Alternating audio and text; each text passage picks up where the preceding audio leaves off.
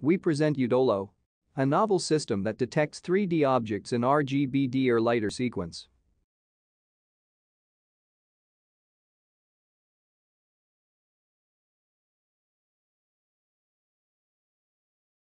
Humans are able to memorize spatial object arrangement when looking around. This ability enables us to continuously locate, associate and recognize objects in the 3D space. However, 3D object detection processes each input image from a video stream individually. As a result, the detector perceives the surrounding world like this.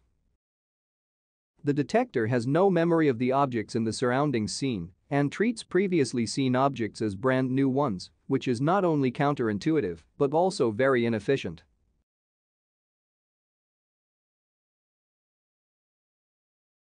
In this work, we propose a novel system named Udolo that detects 3D objects while maintains a dynamic object occupancy map and object states as spatial temporal memory of the system.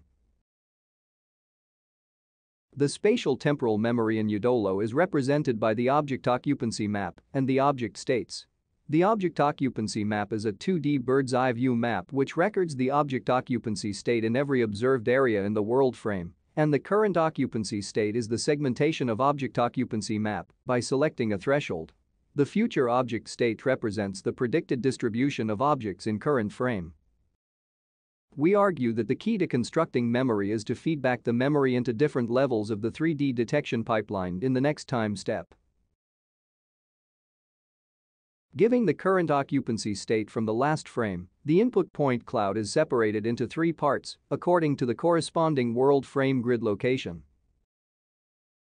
The red and green points represent the high object occupancy score and low object occupancy score regions, and the blue points represent the unobserved regions.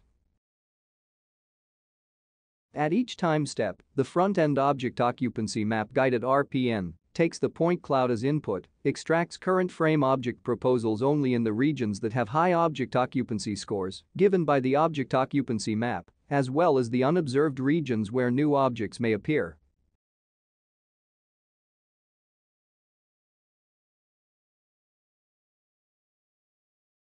These front-end proposals are later fused with back-end object future state predictions from the last frame and passed through the Fusion RCNN.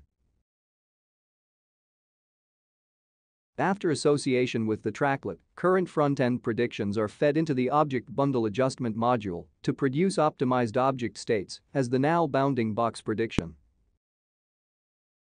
With the future object states given by the motion prediction module, the object occupancy map is updated, the value of the area inside any 3D bounding box is added by 1, which means that the probability of an object in that area is increased, while the value outside the box is subtracted by 1. Finally, the object occupancy map and object states are fed to the pipeline of the next time step. The intermediate and final outputs of the system are visualized as follows. Firstly, we show the results on the indoor dataset ScanNet. As before, let's use different colors to represent different regions.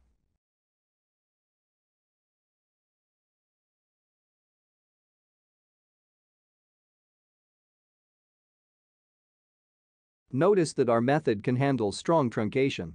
The produced bounding boxes are also more stable compared to the baseline.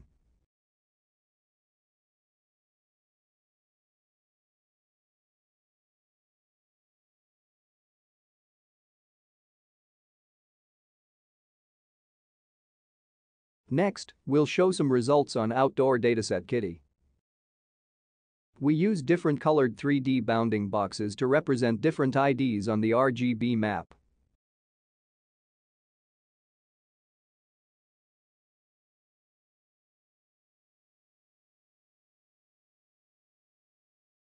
We can see that our method is more stable than the baseline.